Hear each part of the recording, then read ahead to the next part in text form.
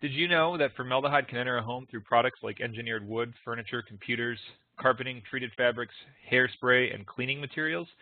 These potentially have harmful VOCs that can circulate through the indoor living space and affect the air that your clients breathe.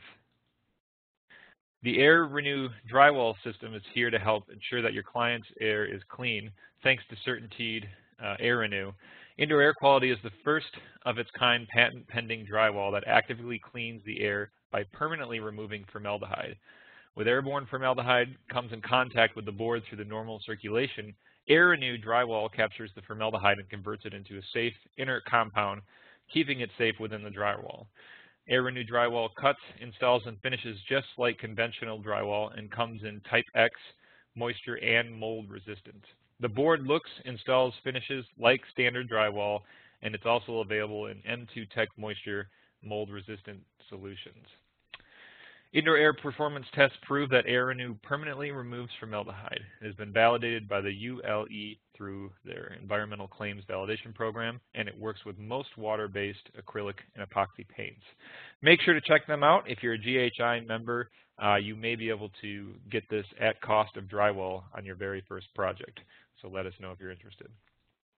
All right, so with that, I'm very excited to um, be starting out our second part, uh, part two, of Zero Made Easy um, with a focus during this session from the Department of Energy on the Zero Energy Ready Homes Program technical specifications.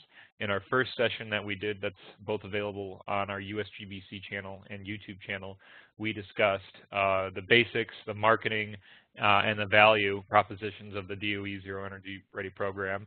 And in this one, we're going to be diving into um, some more specifications and technical details. Um, our instructor today is Jamie Lyons of Newport Partners Research and Consultants on Building Performance and Energy Efficient Design. He's the technical director for the U.S. DOE Zero Energy Ready Home program, and in his role, he works with builders, raters, architects, and utilities to help them achieve solutions for designing, building, and selling zero energy ready homes. He holds a bachelor's in mechanical engineering and master's in environmental engineering, and he's a registered professional engineer in Maryland. So with that, I will hand it off to Jamie and take it away. Awesome, Brett. Thank you. And thanks everybody for sharing part of your day with us today. I'm going to start forwarding through these. Uh, it looks like a continuing education slide here. Oh, and I apologize. There's a couple things I just missed here. Um, this course is approved for one hour in continuing education units um, with uh, Passive House, uh, CPHC, uh, and uh, you know who we are. So let's let's get moving forward from there. Okay. So there you go. I'll move us right on through there. Thanks, thanks again, Brad. Thanks everybody for joining us today. So as you heard, uh, I have the opportunity and really the privilege to work with DOE on its Zero Energy Ready Homes program. I serve as technical director there. So that involves uh, helping people understand the specifications. You know, if DOE is going to put a label on a home, uh, a new home, that is a zero energy ready home that meets DOE certification criteria, uh, there's a lot of specs that go behind that. So we help builders, designers, raters, and others understand sort of what goes into that, and we'll talk through through uh, some of the options about how to go about complying with those specs. So if you took part in part one, you probably recognize this graphic. Uh, this is the six building blocks for zero. And if we, we work up from these six building blocks, it opens up a lot of benefits for builders in the form of market differentiation as well as risk mitigation. Uh, so that's, that's what Sam Rashkin will talk about in, in building the business case and developing the marketing tools around this program. I sort of go the other way. I take these six building blocks and to me, this is the foundation of the program, and these form sort of the building blocks of our specifications. So we'll walk through each one of these six building blocks over the next hour or so and explain what's really involved uh, in complying with each one of these. So a quick word about you know, what buildings and what home types can uh, can be certified under DOE Zero Energy Ready Home. Uh, eligible building types include single-family detached and attached as well as uh, multifamily buildings that are five stories or less below grade as long as they have uh, HVAC at the dwelling level, so no central HVAC systems.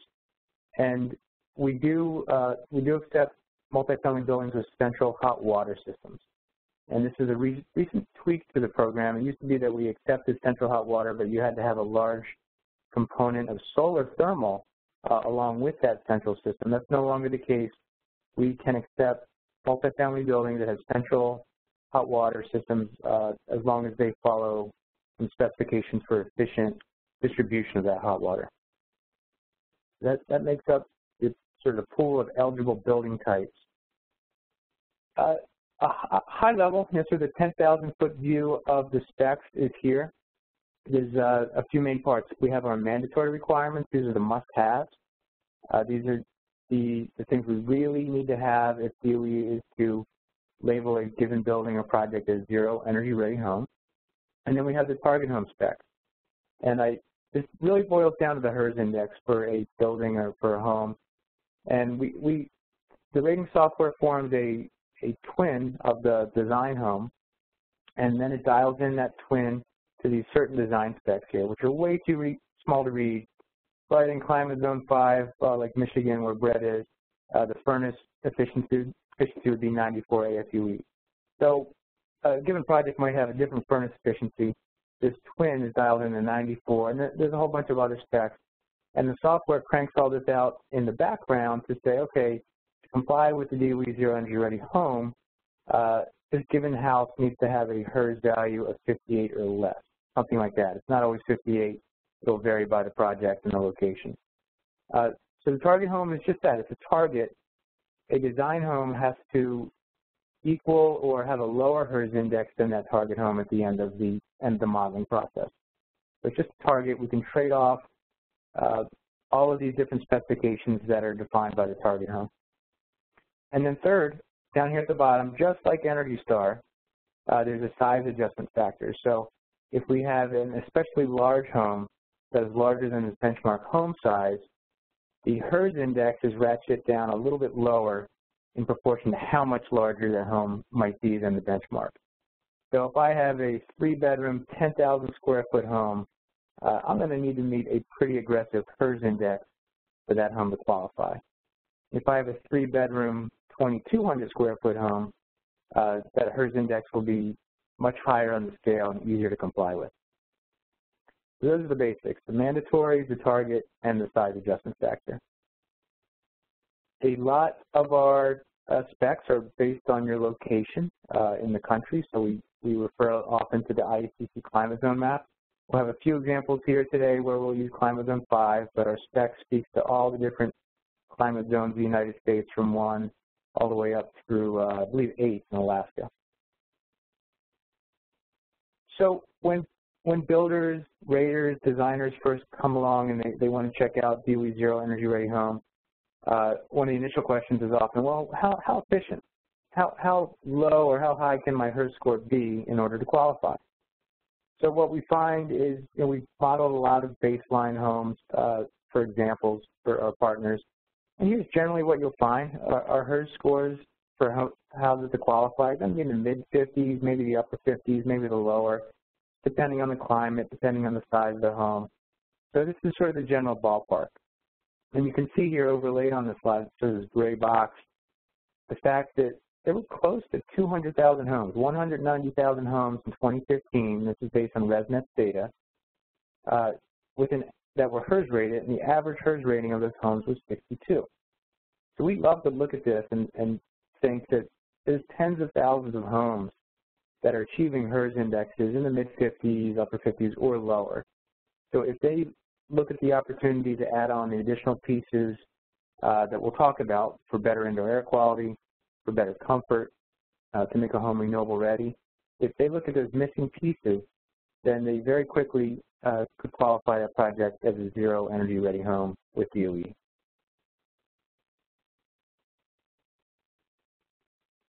Right along here. So we're going to start with that first building block. If you recall the six building blocks going along the bottom of that slide, we'll start with the optimized enclosure. Uh, what does that really mean? Uh, you know, sort of a bundle of practices we want to follow. We want to control air and thermal flow. So to get there, we need air, well air seal construction, good air barriers, insulation quantity and quality, and then good advanced windows to round out the envelope. So that airtight construction, here's what it looks like.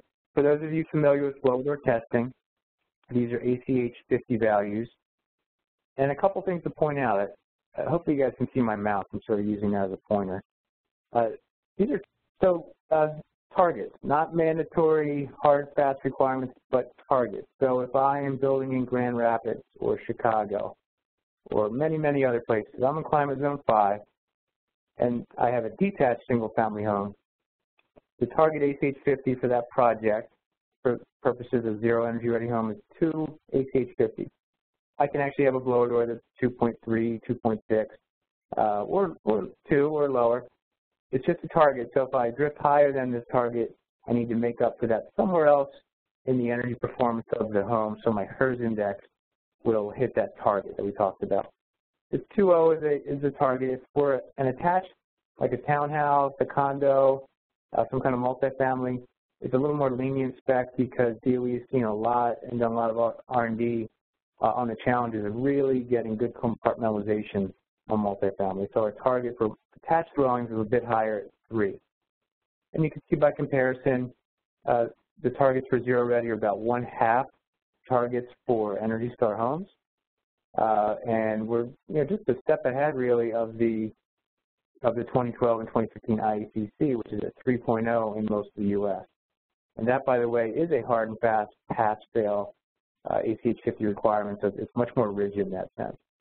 And then for those who are in the passive house uh, end of the, uh, the industry, a much, much more rigorous target or a requirement of 0.6 ACH 50.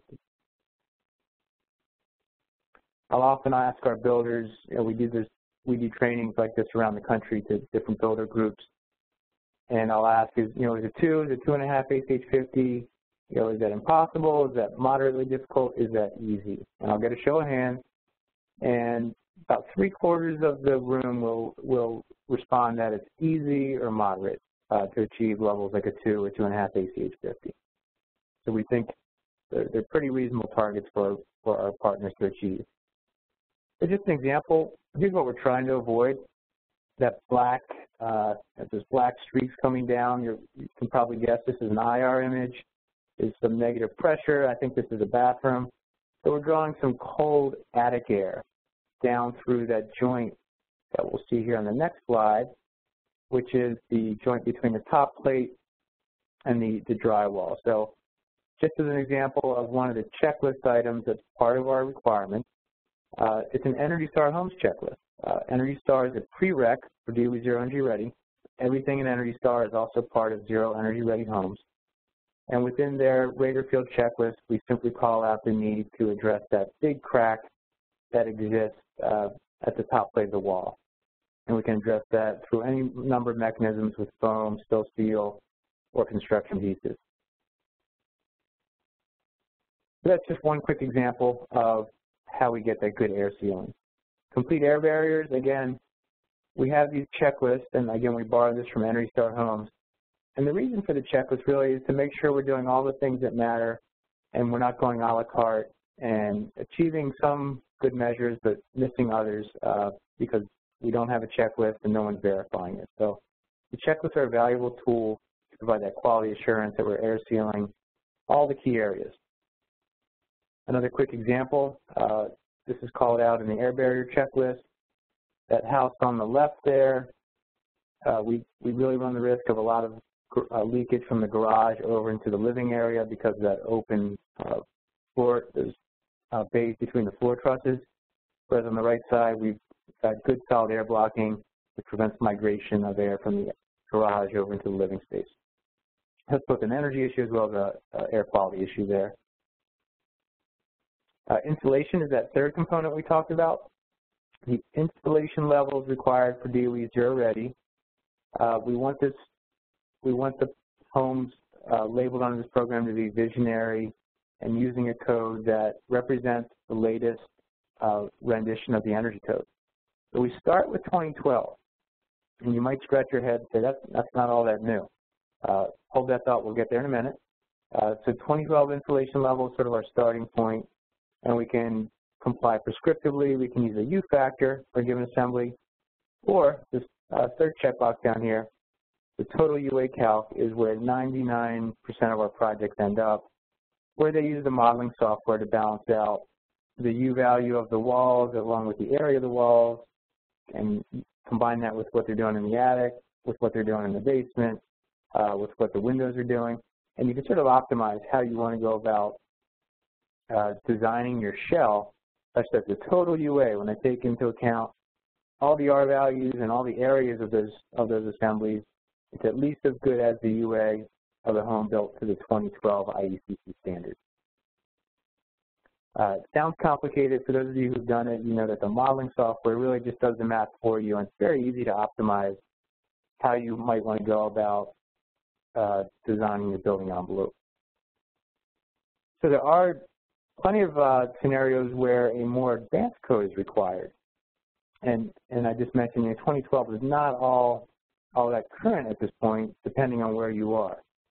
So to deal with this and to make good on the value proposition that zero energy ready homes really are following the latest, most recent energy codes, uh, we take we take a cue from Energy Star version 3.1, which is really doing the exact same thing.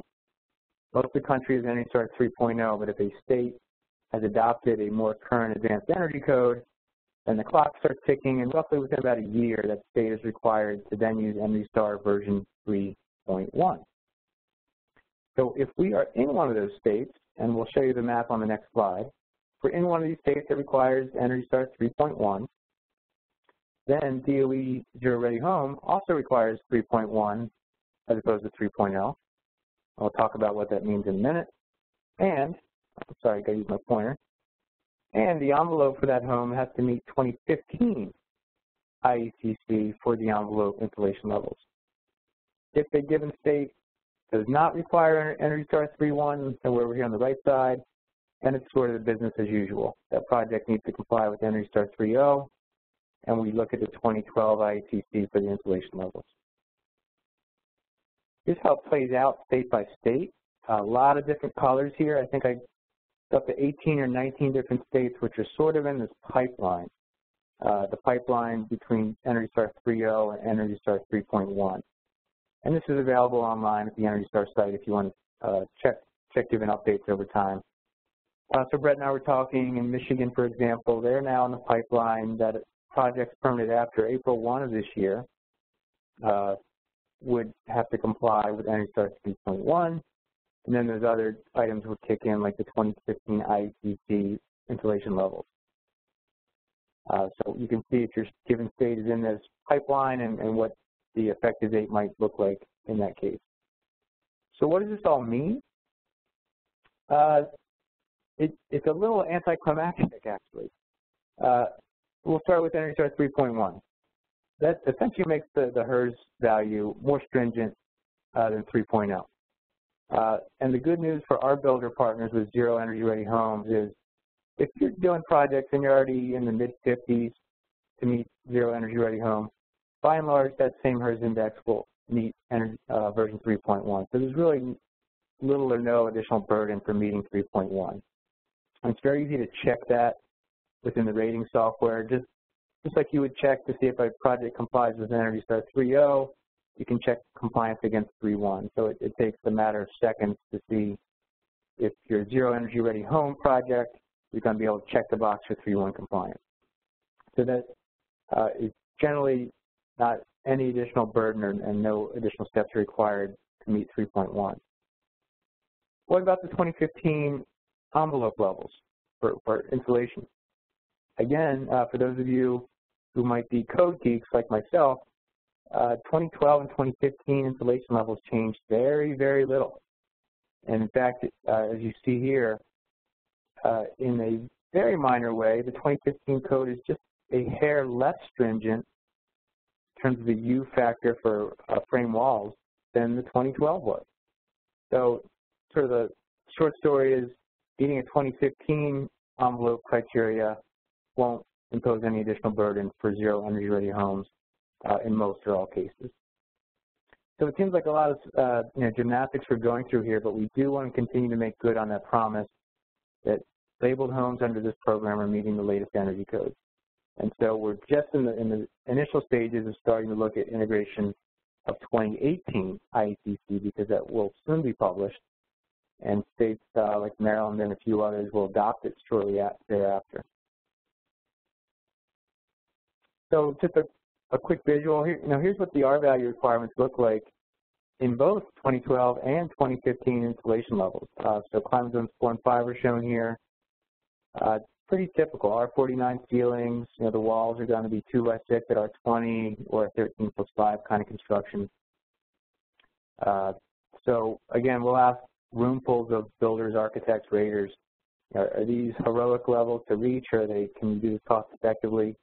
And again, uh, the majority of our of our uh, attendees, uh, you know, confirm that they can do these things, and in most cases they already are insulating to these levels. Okay, uh, pause for a quick question from the chat. Are the specs available for download on the Zero Energy Ready Home website? Absolutely. Uh, the website uh, is listed on our last slide with some contact info. Uh, you can just Google it, or it's pretty easy to remember, buildings.energy.gov slash zero. Uh, but again, you can we'll get to that towards the end here. Uh, wall wall systems. We we want to have high R value walls. So we're all, often asked, what do you use? What what what are your builders using in their project? And it's great because you know builder preference and regional practices and their relationship with trades and several other factors end up meaning we see a, a pretty wide spectrum of assemblies being used. So we'll tick through some of the more common ones here over the next five or six slides. Uh, start with the basics, just you know, advanced framing. So we're lowering that framing factor down to 12, 15% in a 2 by 6 assembly. It gives us a U factor somewhere 0.05, 0.06. Uh, and then you know, just some of the issues with design installation. The R19 batt is too thick, uh, so it's compressed, and you end up with something lower like an R17. If instead our builders would use an R21, it's optimized for that 2 by 6 cavity. It actually fits, so they get uh, they get more full R value of that R21.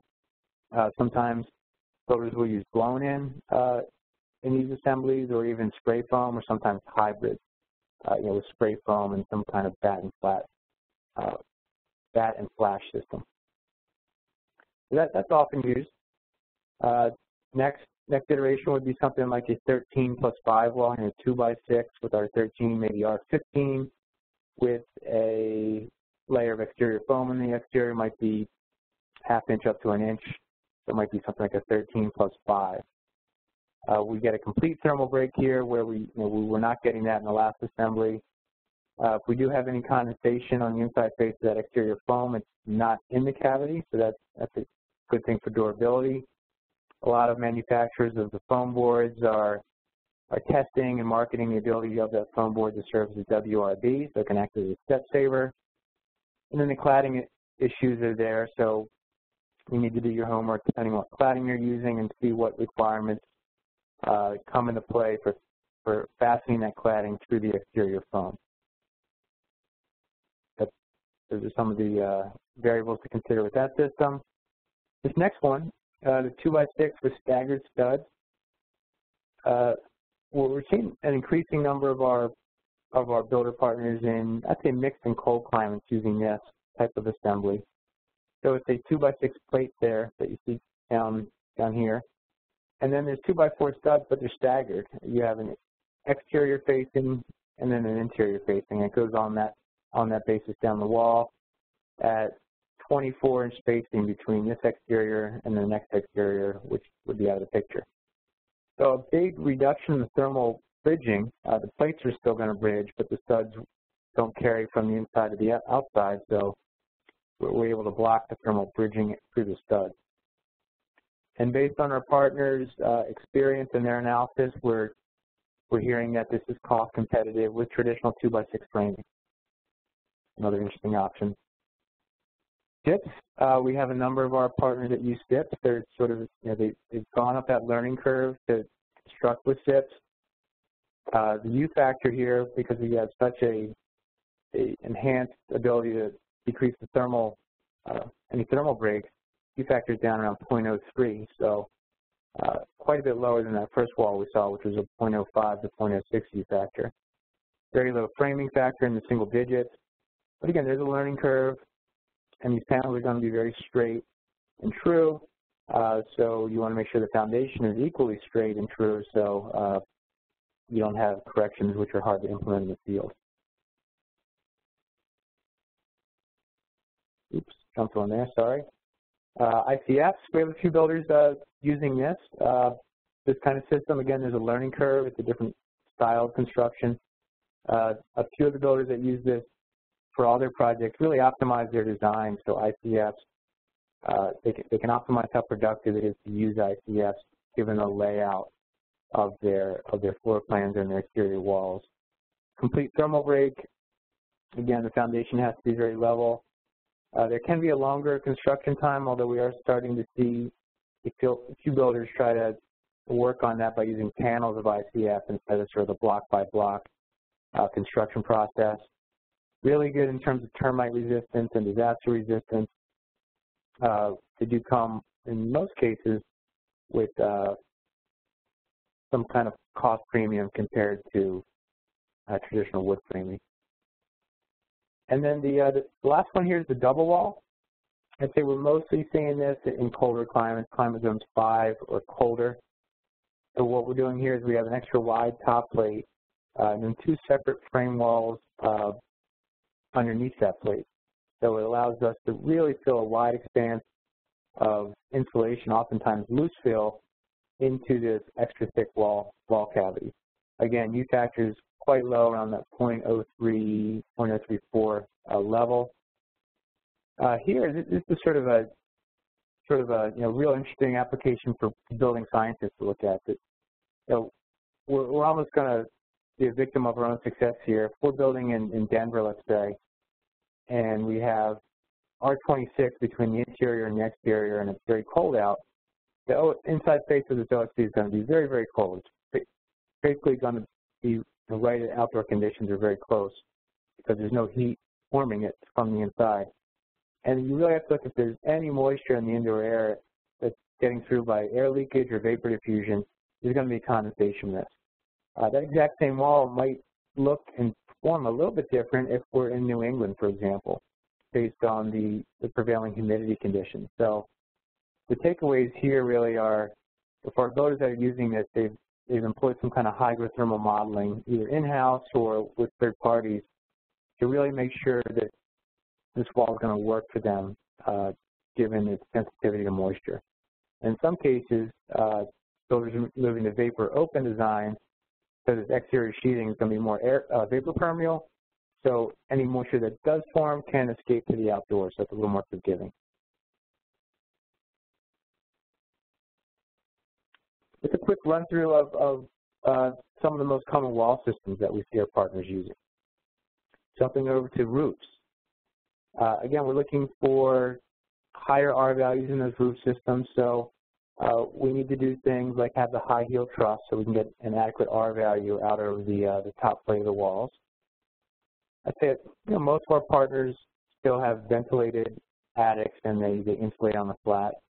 Uh, there is a contingent of designs and builders that are using the unvented attic assembly.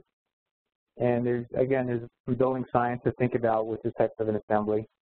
But this has been recognized in the IRC, I think, going back two or three cycles, so it's not necessarily new.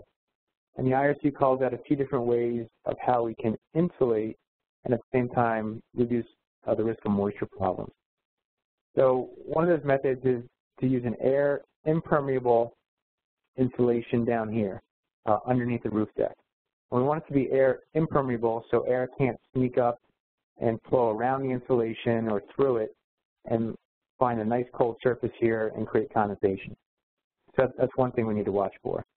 The other is we need at least a minimum R value of this layer of insulation uh, because if it's too thin, then this lower surface, the bottom edge of that yellow there, uh, it'll get too cold during the winter and indoor air might have enough humidity to start uh, condensing out and creating a moisture problem there.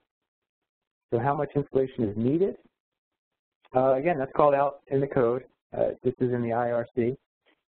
And if we're in climate zone 5, you need that, that layer of insulation, that air impermeable insulation, has to be at least R20 uh, for the purpose of moisture control.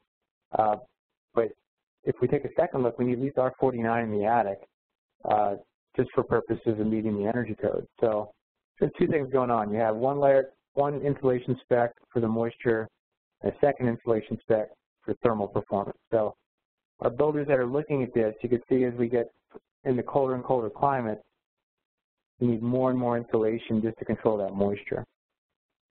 Uh, so if, you know, if it's too cold, sometimes this is not insulating underneath the roof deck with that air impermeable insulation is not the most effective way to go. Uh, another option shown here is to insulate above the roof deck, uh, and then we're keeping the roof deck at that point warm enough so we're not going to have a, a condensation risk. And because of that, we can now use an air permeable insulation underneath the roof deck. So that's another option. Uh, if we're doing that, though, this also has to be at least R20 if we're in climate zone 5 based on this table.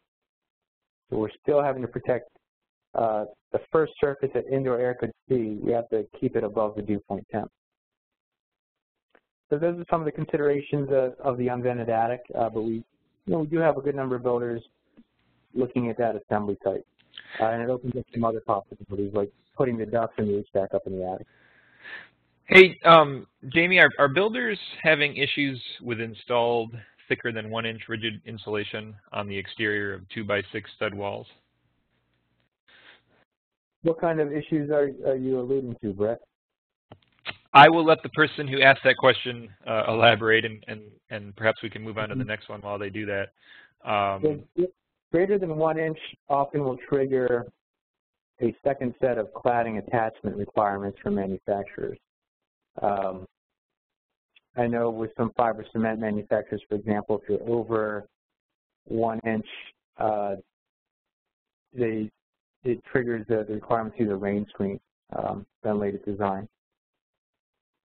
And then for and it looks like it looks ahead. like they were looking at uh, mainly window installation on that question. Uh, yeah, I haven't I haven't heard a whole lot about that. Um, the window in, installer or the window installation manufacturers uh, often will have specs that deal with that, but in the absence of that, uh, yeah, that could be an issue for a builder to navigate. So I,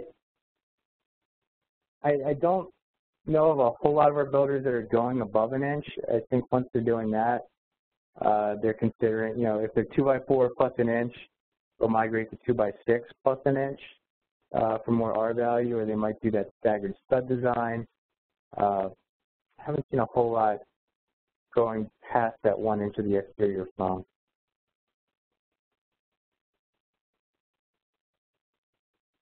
Uh, Great, thanks. Sure, good question. Thank you. Next, next uh, and final component of the of the envelope is uh, the windows. So windows obviously are important. They sort of represent a, uh, a short in our thermal envelope, so we want to make them as effective as possible. So really the spec is, is fairly basic in this area. It requires Energy Star windows that meet the U values and solar heat gains that you see here. Uh, there are a couple important footnotes and exceptions. We can we can do an area weighting of, of the entire glazing package so you can balance out a few non-conforming windows if the overall package uh, area weighted values meet the U's and the solar heat gains that we see here. And then there's also allowances for passive solar design. Uh, they can be exempted out of these factors if, if the design is using a, a passive solar uh, concept.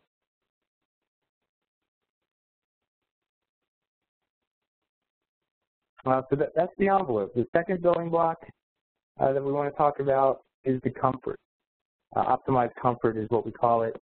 With most of these buildings, you know, compared to a design for the same plan of, of seven, eight, nine, ten years ago, the loads now you know, might be 50%, 50, 70% lower. So it does take a lot of attention to make sure that we're still addressing comfort adequately uh, with heating, cooling, uh, moisture control, balancing of the air, filtration, all those things. Uh, so it falls really into two buckets, HVAC installation and an optimized duct system. So the HVAC installation, uh, again, we, we embed this as part of the Energy Star Homes program.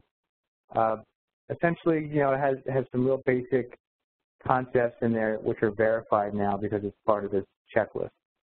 So here, here's the basic idea that air is going to follow the, the path of uh, least resistance. So on the left side here, uh, this design is going to work great if room A and room B have the same kind of load.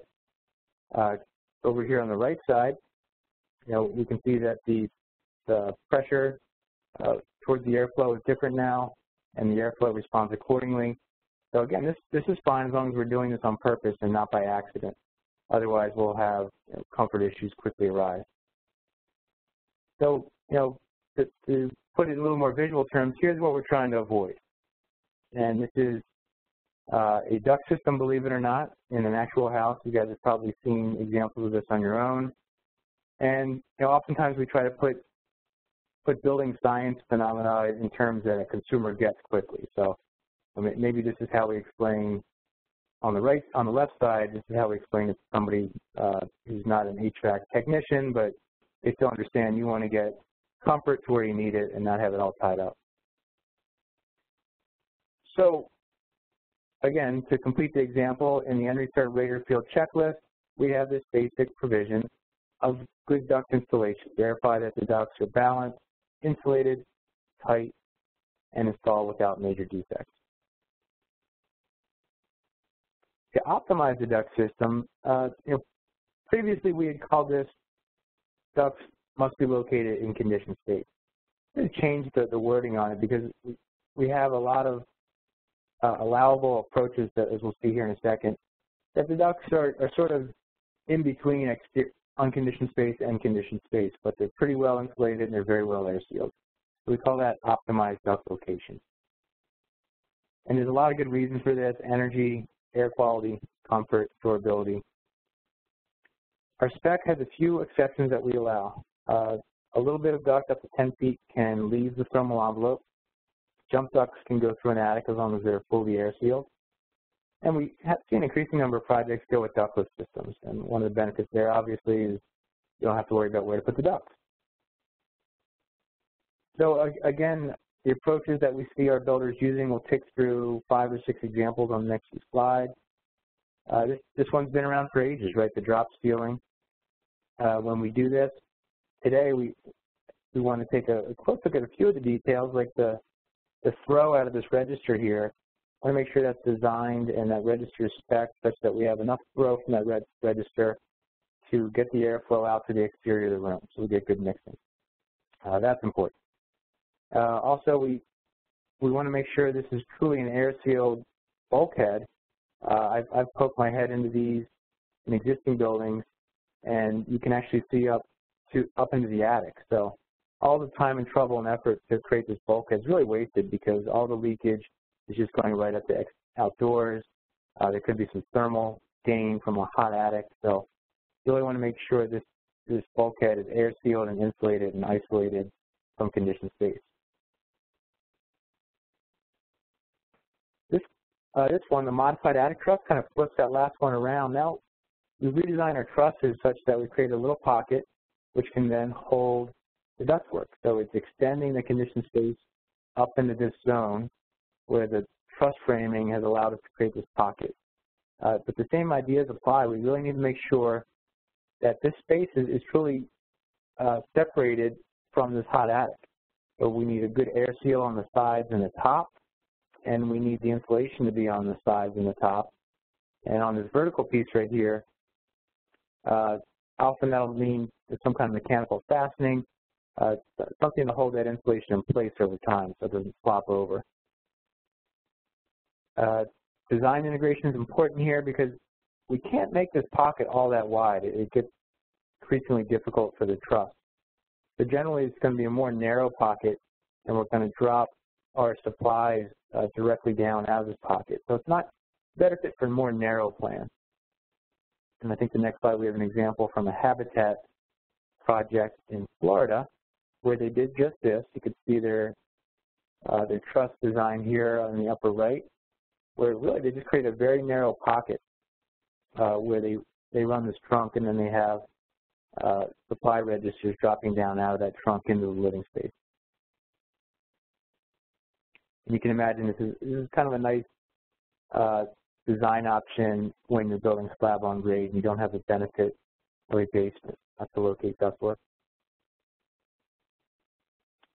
Uh, ducts between floors, I, I, I like this approach a lot. I've been involved in projects going back years where we were doing duct designs like this, but 10 or 15 years ago, the ducts were way larger, and the reason they were so much larger is because the building load was so much larger.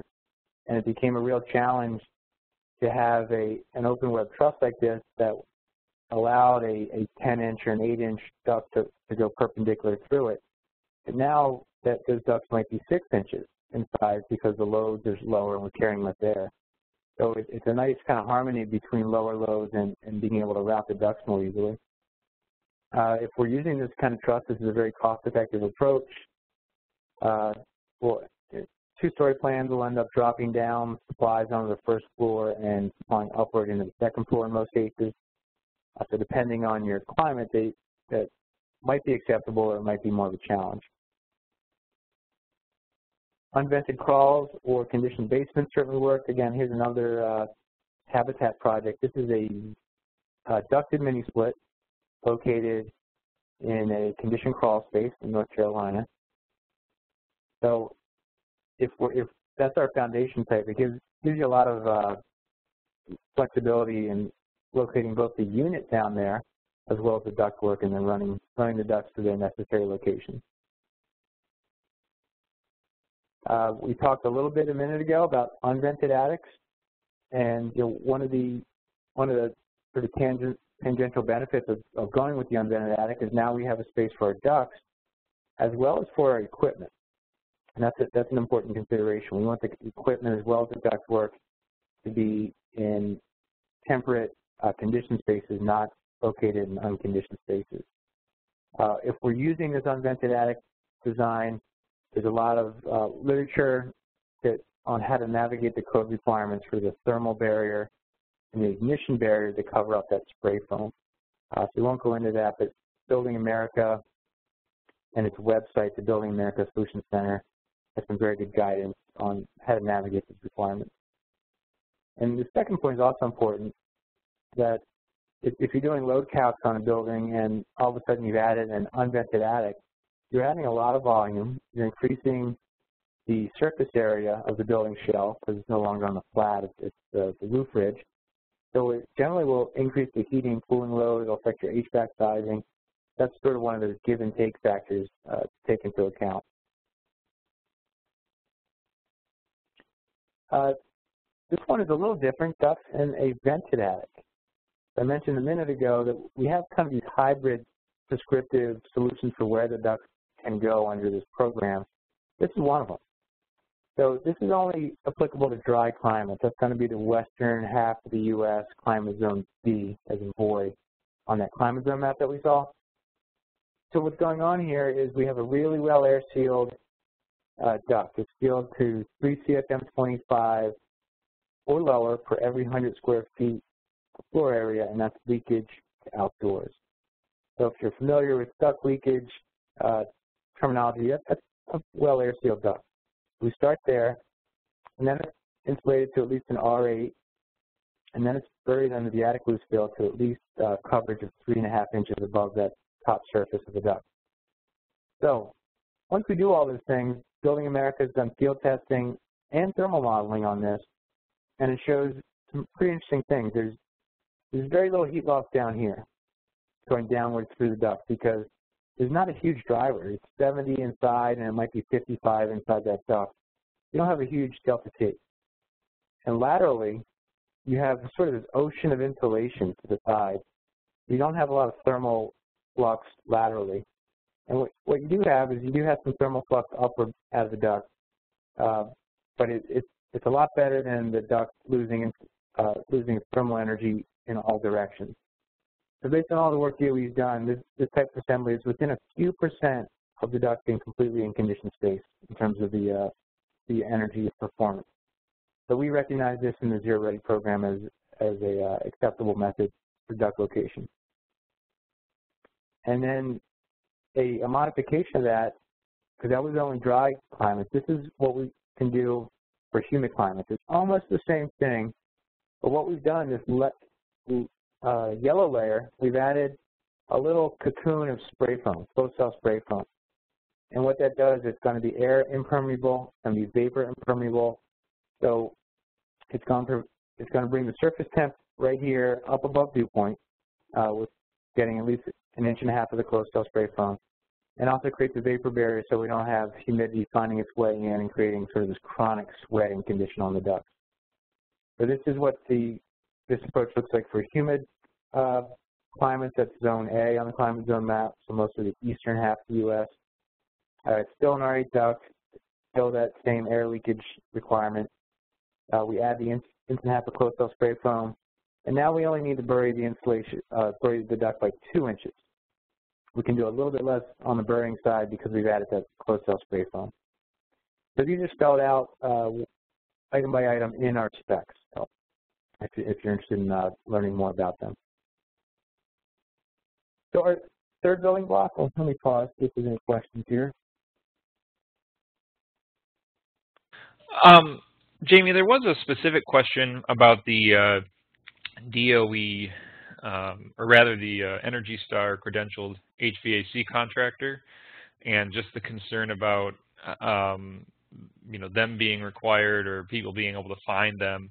Um, have you found that uh, I guess that more contractors have been taking that on, and that uh, there's been some value to to working with a contractor with that credential? We we have an ongoing dialogue with the Energy Star Homes team, and oftentimes we will talk about that. If if you're involved in a zero energy ready home project and you're unable to access a QA certified HVAC contractor, please do reach out and contact us at, at the DOE Zero Ready program. We might have a recommendation for a contractor or we might be able to consider an exception um, for that program depending on the circumstances. Uh, another sort of observation on that is we recently posted a bulletin on the DOE website uh, just explaining clearly those scenarios when a QA certified contractor is not required. And if, many of your participants probably know this already, but if, if you're using uh, like a mini split system or a boiler-based system, uh, there's exceptions within the Energy Star homes that uh, allow that project not to require the use of a QA certified HVAC contractor. Uh, and in this bulletin, we also spell out that that's true even if it's a ducted mini split system. So uh, that bulletin is now posted on our website and available, and I can follow up with anybody who's interested in, for more details on that. And I think piggybacking off of that to uh, another question that came in, I think this is what he was referring to is, um, you know, verifying the HVAC in the design stage. I mean, that's something that that um, HVAC contractor and the rater would ideally be doing, correct? That's right. That's right. And that would fall in terms of the program building block, that would be the, H, uh, the HVAC design report. So the, the HVAC designer does that, and the, and the verifier or rater uh, reviews that. Great, thanks. Good question. And, and we do hear quite often about the HVAC contractor being a a, uh, a big sort of stumbling block for some projects. So if you find yourself in that position, please let us know, and we'll try to work uh, and find a solution for you. Uh, water protection is a pretty basic building block again, but it, it's critical because we're not building seven, eight, nine ACH 50 houses now. We're building, uh, you know, a third of that level. And so a, you know, I'm sure many of you have worked on existing homes and you take off siding or you place windows and you see water damage. It's been chronically there for years, but it's, managed to dry out. Uh, it's much more difficult in a 3 ACH50 home with highly insulated walls for that to happen. So moisture protection is more important uh, now than, than ever. So again, the basic concept is to shed bulk water down and away from the, the building enclosure. Great example, here's what we're trying to avoid. Uh, typical construction might miss this detail, and we like to have these checklists, as I mentioned, make sure we're doing the things that matter so we don't get the chronic uh, water intrusion down that down that wall where it uh, meets the uh, the adjacent roof. So the checklist item here, again, is part of the water management checklist out of the Energy Star program, just to use step and kick-out flashing. Here you can see a couple of details on that, what it looks like. Uh, next building block is the components. So these are the white goods, the fans, uh, water heating, and as we've ratcheted down heating and cooling so substantially, you know, we have a much smaller pie of energy use, but the slice of that pie uh, for appliances and miscellaneous loads is a bigger slice now. Uh, heating and cooling are getting smaller, and so we, we do want to look hard at the, the components and make sure we, we're doing things that are reasonable and make sense to, to reduce the overall energy budget for the home such that it's zero energy ready and it's within striking distance of zero if renewables were added. So what the program actually requires is uh, simply Energy Star certified appliances where the builder is supplying that appliance, like a refrigerator, a dishwasher. Uh, bathroom fans and ceiling fans are Energy Star certified. That's the second point. I, I personally really like this requirement because it, it also makes those fans quiet. Uh, Energy Star criteria for bath fans it's not just the energy uh, efficiency of the fan, it's also the noise rating, the sound. So you have a pretty good shot at a fan that's quiet and the residents may use it, um, which is really the whole point. So uh, quiet and efficient fans is a good thing. Lighting, minimum 80% of the fixtures or lamps uh, will be high efficiency energy star lighting. And that could be CFL or it could be LED. And then hot water distribution. We'll talk a little bit more about this in a minute. We want an efficient plumbing layout for our hot water so it's not wasting energy as well as water. So this is what it means essentially that our hot water distribution system between the hot water source and that furthest fixture, we're not storing any more than a half gallon of water in between the two in the piping. And then when I go out to that furthest fixture, and I turn it on, by the time I've collected 0.6 gallons in a bucket, I've seen the water temp coming out of that fixture increase by 10 degrees Fahrenheit. Uh, third point, there are a lot of recirc systems out there, and for, for our program, we want demand-based recirc. A, a, good number of systems out there are based only on a timer or only on a temp sensor, and there's no real indicator for demand. So uh, you, you might be out of town for a week, and that timer is still going to actuate the system to run. So it's going to pump energy, it's going to circulate hot water, it's going to trigger more water heating usage. So uh, recirc systems under this program have to be demand-based, and they, they can't just be based on a timer or just based on a temp sensor. And then in terms of uh, central systems, I mentioned this at the outset, uh, central systems in multifamily are permitted. Uh, they have to use an on-demand recirc system that's based on some kind of demand indicator. It could be a flow indicator in the in the hot water piping, demand as well as temp. So we want the pump and these demand systems to know that yes, there's a demand, and yes, the loop temp is below a threshold. If those are both true, then the demand circ uh, will kick in and will circulate hot water through the loop. What's different about our multifamily requirements is we don't have this, this limit of 0.5 gallons uh, stored volume at this time. We're trying to get our head around what's a, a, reasonable number to use in multifamily. We're, we're not quite there yet. So there's no, we don't have this 0.5 gallon uh, stored volume limit for central systems at this point in time. And as I mentioned, there's no solar required. Uh, up till now, Energy Star homes and Zero Energy Ready Home had required central systems to have a large solar thermal uh, helping to provide hot water if you're using a central system. For the Zero Ready program, we've waived that, or we no longer have that requirement. So three of the basic ways we get to these efficient hot water systems that our builders use, you know, one is just basic. It, it flows out of the floor plan. We've consolidated the wet areas. So we have a core plumbing layout where everything's kind of grouped. We have short uh, plumbing runs, and we don't have a lot of hot water between the, the heater and the fixtures. That's a pretty basic one. Obviously, it's floor plan dependent. Second one is the manifold home run-based system. So we have smaller diameter, typically half-inch home runs going out to the fixtures. Uh, because it's smaller diameter, uh, we can, we're not storing a lot of hot water, so we, we're able to uh, have a little more flexibility in the floor plan, and just use a manifold home run system to supply all the hot water fixtures. We have quite a few partners use that system. And then the, the other major category is the demand pumping system that I mentioned. So we have things like uh, the remote control, you know, the push button to actuate the pump.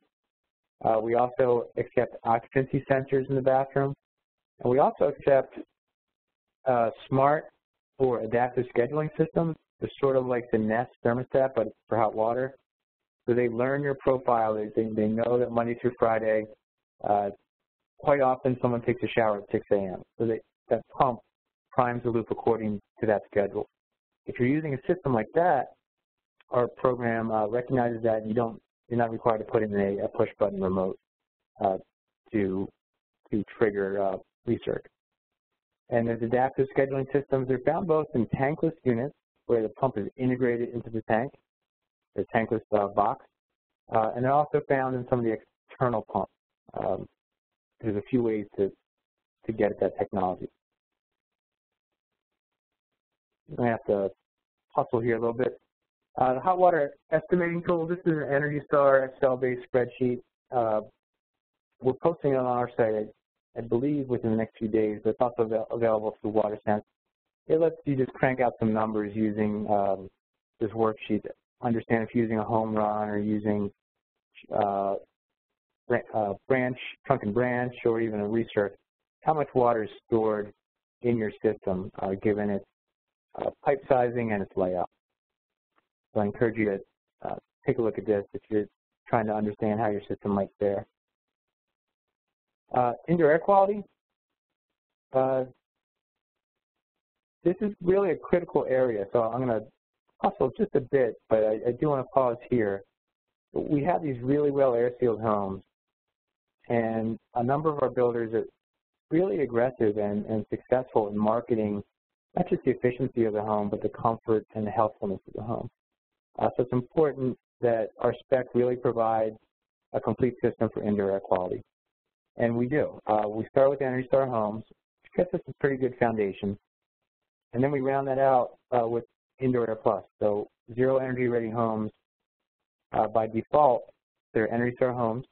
And they're also uh, certified with the IAP pro program, the Indoor Air Plus program. If you see here, that gets us a few really critical additional building blocks. Uh, radon mitigation if we're in zone one, uh, pest management, uh, low emission materials, and a few additional measures in those other areas. It's very critical that we're doing a complete system, you know, and our marketing materials state as much. You know, these are the recommendations from the the nation's leading experts in indoor air quality. This is what they would recommend for new home construction. So radon, I'll, I'll cover this quickly. If you're in radon zone one, some of the dark red counties, and we see, you know, they're kind of sprinkled throughout the U.S. If your project is in one of those sites, then passive radon construction techniques are required.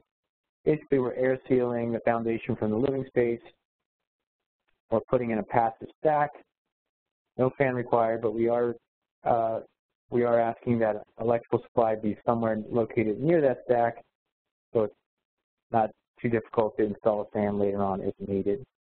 And radon test kits are not required. Uh, in a prior version of IAP, they had been required. Pests, this is code minimum, but again, we want to make sure it's actually being done and someone's checking on it. It's on the screen so we don't get pests in the building.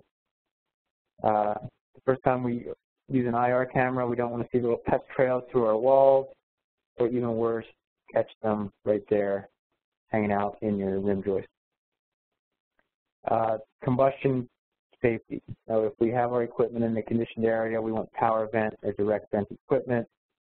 We're really buying a huge amount of margin uh, in terms of backdrafting safety. Certified fireplaces and stoves that are vented to the outdoors. Again, these are pretty basic, but by using IAP, we're making sure we're doing all those things that make sense for good indoor air quality. Uh, carbon uh, monoxide alarms fall into the same category. These are really just code minimum requirements. This is a key one. Uh, with respect to garage pollutants getting into the house. So if a house is using exhaust-based ventilation for the whole house ventilation, then IAP calls out two different options. Here's one. We can install a garage exhaust fan. It's going to pull air from the garage and expel it to outdoors, so it won't go into the home. Uh, fair number of builders are not uh, convinced that's a good investment. Uh, so there, there is a, a second option.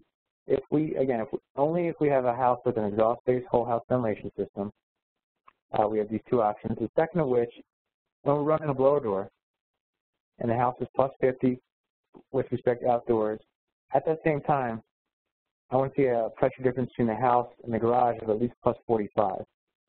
That's demonstrating we have a good air seal between the house and the garage.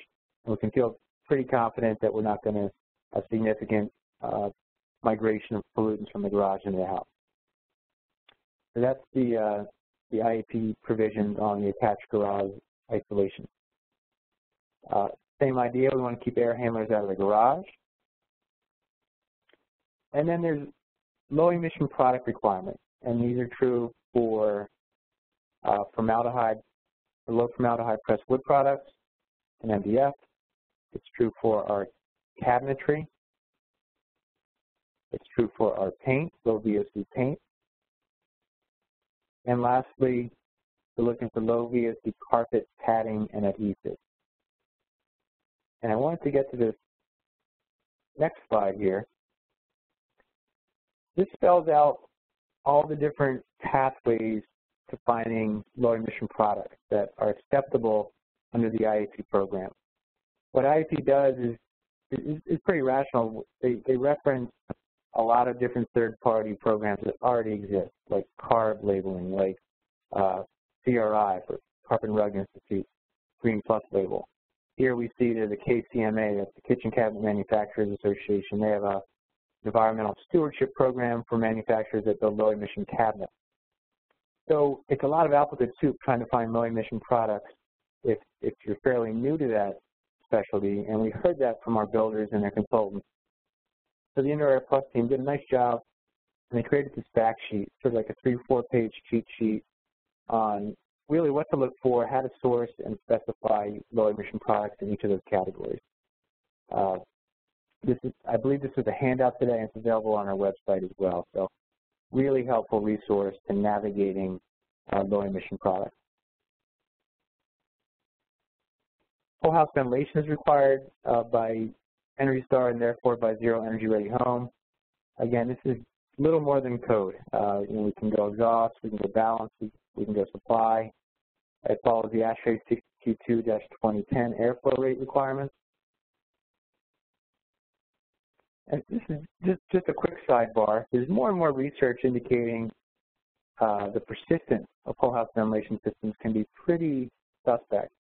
So we build a, a well air sealed home, we put in a ventilation system. Is it really operating and doing the job we want it to do two years later, three years later? And balance systems and supply systems are particularly prone because they have intakes and stuff like that can happen to their intakes. I'm not even sure what this is. This is not my picture, but if that's your air intake, uh, it's definitely compromised in getting enough air into that ventilation system for the home. So uh, they need to be clean. They need to be accessible. Uh, you can see here that it's a little bit out of reach. So a number of our leading builders are getting much more thoughtful and deliberate about the design of the system so they work long term and handing over uh, maintenance and, and update materials to their home buyers. Uh, IAP looks for a, a eight MERV filter for the central system in the home. I threw this slide in because I think it's really important. Of course, you want to design for that MERV 8 filter with your duct design. You, you want to know how much uh, pressure drop does that filter represent.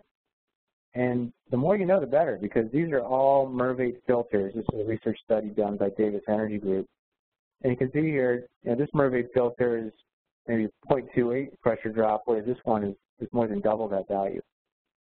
So it speaks to designing the system with the, the actual filter that you're going to use in mind, and ideally handing off some information to the homeowner so when they replace that filter six months down the road, uh, they don't swap out this filter for this filter, and then your, your airflow is going to be compromised. Uh, dehumidification is required in warm, humid climates, so basically the southeast, such that we can maintain our RH below 60%.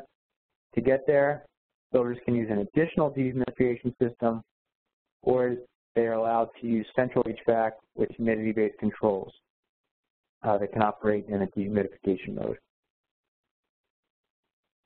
And this is the area we're talking about down here.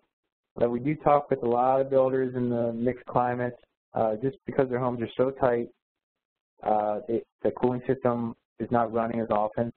Uh, enhanced RH control is really recommended even beyond the southeast and in some of these mixed and cold climates. Just about there. This is the sixth building block, the solar ready system. Uh, probably no secret to this group that solar has become much, much more prevalent. Prices are falling. Install capacity is on the rise. So zero energy ready homes, uh, it makes a lot of sense to do a few features for them that make them solar ready. Uh, it's required in the sunniest high solar resources areas of the country. Uh, the provisions we'll look at in a moment are encouraged in these other areas based on your solar resources as spelled out by PV Watt. I'll show you that website in a minute. Uh, that being said, many, many of our partners put in PV Ready features, uh, whether a program has a absolute requirement for them to do so or not. They like the marketing uh, luster gives the home, it resonates with homeowners, and they're not uh, high-cost items to do. So here's the website. Uh, again, this is in our specs. You go check this out, and based on the zip code, you can find the solar resources on that scale. And if it's five or above, then the PV ready provisions are required. Really important to note, uh, there's some common sense exceptions. If we're building next to tall buildings, tall trees, uh, there's a Utah development which is next to a cliff, uh, which provides a lot of shade. Uh, in those cases, we wouldn't require the PV ready provisions. They might simply not make sense to do. If a project does not have these features, it can still comply with the program. Important point uh, for our partners to understand. The solar ready requirements uh, look like this. Uh, we want to document the load ratings and hand that off to the homeowner so they have that so it's easier uh, to design a system down the road. Uh, we want to run a conduit from the attic area down to the service panel area. We want a dedicated area for the system components, such as the inverter. We want a short run conduit from that area over to the panel and we want a circuit breaker with a dedicated slot or uh, reserved space to tie in uh, the inverter and the PV system.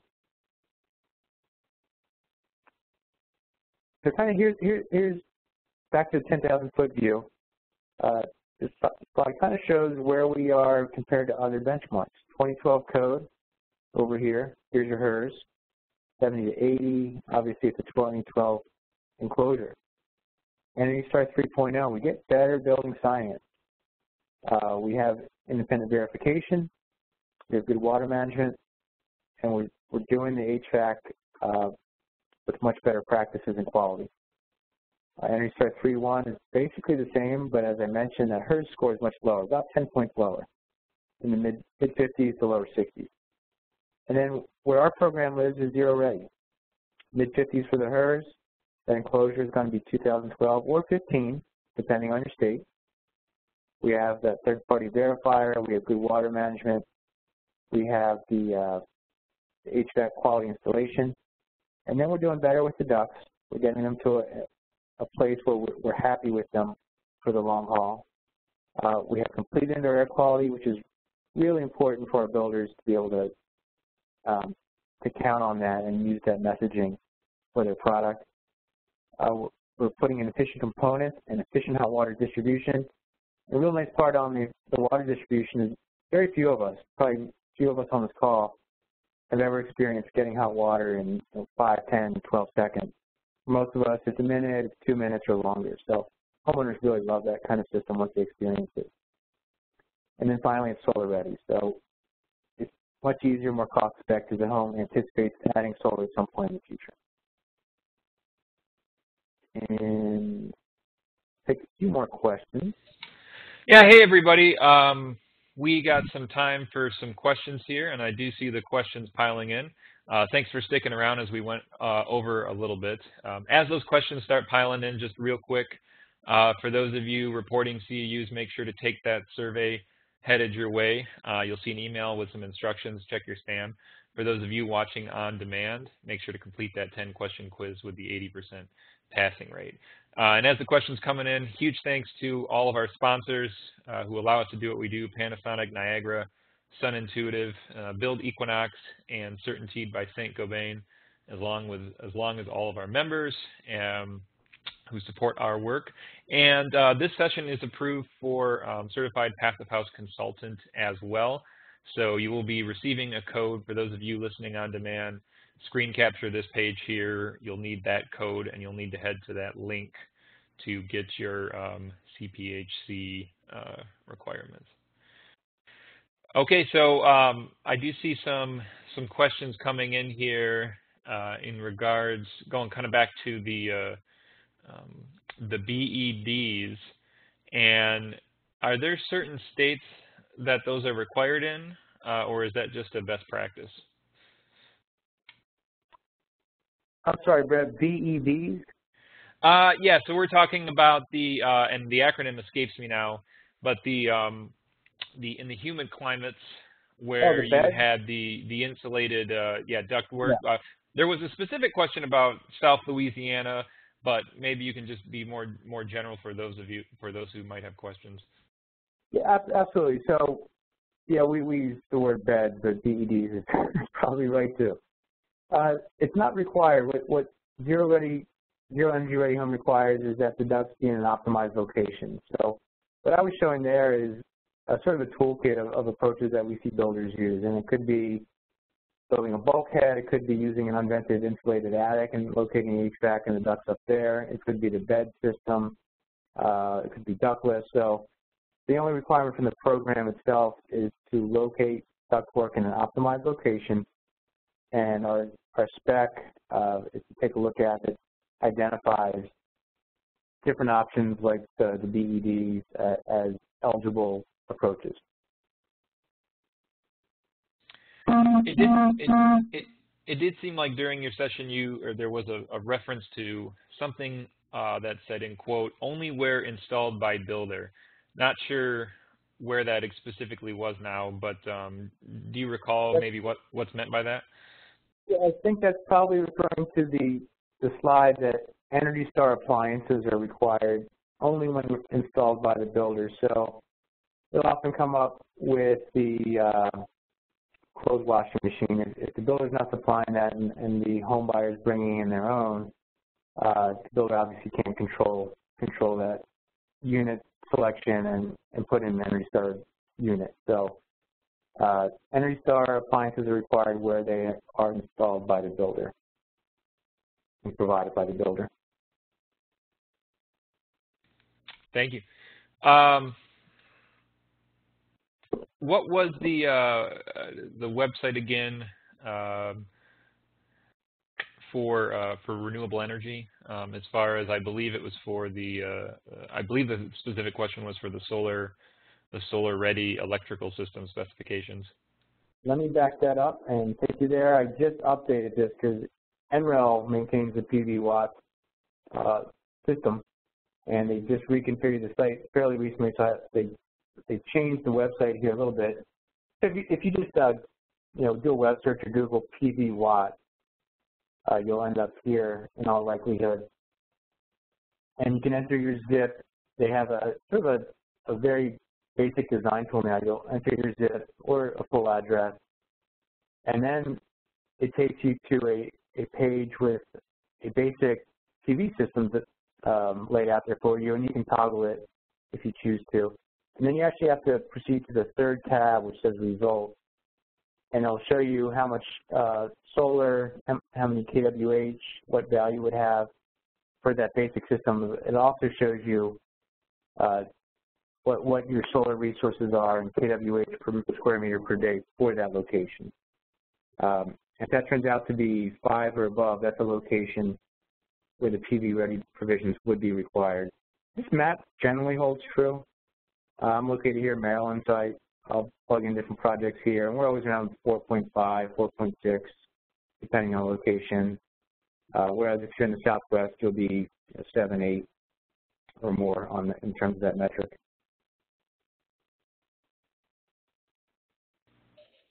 Great, thanks. And I'm going to head back to the uh, FIA slide again for some of those who, who, who may have missed it. Yeah, please. Um, so there are some more specific questions coming in. Um, so if you have some time to stick around, let's maybe drill into a, a few of these, if that's all right, Jamie. Yeah, yeah, absolutely.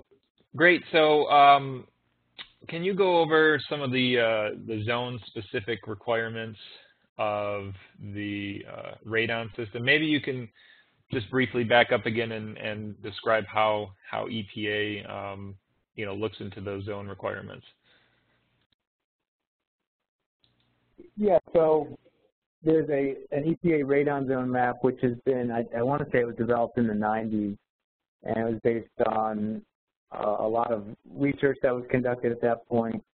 I'm, I'm not sure how often it's revisited uh, necessarily, but they're broken into one of three zones. So if a given project location is in radon zone one per that map, uh, then radon resistant construction techniques would be required. And we looked at a few of those. It's air sealing the slab, uh, it's putting in uh, the gravel bed with poly, and then putting a passive stack in. Uh, questions about the evolution of, of the radon zones themselves and any ongoing maintenance of that probably be better directed to uh, EPA's radon uh, group. And I believe they have a radon hotline you could probably find online pretty easily. You know, it's interesting. We um, we're assessing some homes in a in a zone uh, three, I think, the least worst one, and um, found a house that was just way off the charts. And the person happened to be a nuclear submarine engineer, so we thought maybe it was emitting from them. We just we still aren't sure yet, but um, but but to that point, we did notice um, that we've been hearing a lot, like lot by lot actually. Uh, it can change, and so we we are recommending people uh, test and get it tested, or just install the systems, no matter no matter what zone you're in. It's just a good practice. But I'm not saying it's required for this program. I'm just saying that's the recommendations that we're making. Yeah, absolutely. There's local conditions and, and awareness of, of radon, higher radon risk and you're building such tight homes, that makes, that makes complete sense. Another question uh, coming in, uh, continuing in our in our health section here, um, is the uh, requirements for the uh, low um, off-gassing, low VOC applications such as drywall, cabinets, carpet, paint just to be sure, those are those are all requirements in the program under Indoor Air Plus, correct? Yes. So the the program requires uh, low emission pressed wood products, um, i.e. MDF products. Many of those will be in the wood structural panels for the sheathing. They will be found in the cabinetry. Uh, anything else which is constructed with MDF. Uh, low emission carpets, low emission carpet pads, and low VOC paint. Uh, so that, that rounds out sort of the, the, family of product types that are required to be low emission under the Indoor Air Plus program. And our builders, uh, once they become familiar with the terminology and the third-party ratings, uh, I think they've been pretty pleased with being able to locate those, and the, the stockpile of available products is pretty wide and it's growing. Uh, so we we've heard pretty good feedback from our builders, especially once we issued that how to find document, which kind of cuts through the, uh, the terminology and makes it easier for them to explain to a supplier exactly what they're looking for. Great, thanks. Um, what uh, last question here before we wrap up, uh, unless there's one more coming in. Um, what uh, what can folks do outside of the U.S. Uh, this specific question is Europe, but just in general, if they want to follow a program like this, can they? Is there any way to get it actually certified outside of the U.S., or is there is there any um, other programs that are similar to it? Uh, this program is is focused in scope only on U.S. construction, uh, residential construction. So yeah, unfortunately, we we don't look at or consider products or projects uh, outside the U.S. Uh, yeah, I, I, have a general awareness of, of some of the international programs that are out there, but far from an expert. I I certainly imagine that, that they're out there and they're available. Um, so I, I, guess I would encourage you to look at the, uh, the building industry in whatever market you're considering and just doing the research the energy efficient practices and third-party certification programs which might be available in those locations. Great, Jamie. Well, uh, I appreciate all of your time with you joining us today. Thanks to the Department of Energy for, for having you out here. Uh, just real quick before we wrap up, where can people go to uh, learn more or get more information? Yeah, so this slide that you're looking at here at the, the tail end is the website's over there on the left, uh, buildings.energy.gov slash zero. And the specs are there, as we mentioned. Uh, a couple real key points is we've done roughly 25, to 28 uh, webinars, similar to this one, but with subject matter experts in ducts or envelope design. Uh, Dr. Joe Lstiburek did one on, on high R-value assemblies and uh, a whole host of topics. And they range like this one about 60 to 75 minutes. They're all there for remote viewing if you're interested. Uh, there's a marketing toolkit for our partners to help help them communicate the value of these homes. And this fourth bullet, the Tour Zero, it's a it's an online tour of certified projects from this program, very, very consumer friendly, uh, intended to really distinguish the projects and the builders behind those projects. Uh, so it walks you through a lot of pictures of the site, has a testimonial from the homeowner normally about what, what it's like to have a house like that. Uh, and we're adding to that each year. Uh, there's 60, 70, 80 homes on there now, and you can sort by location um, to go check out homes that might interest you. So it's a really nice resource available.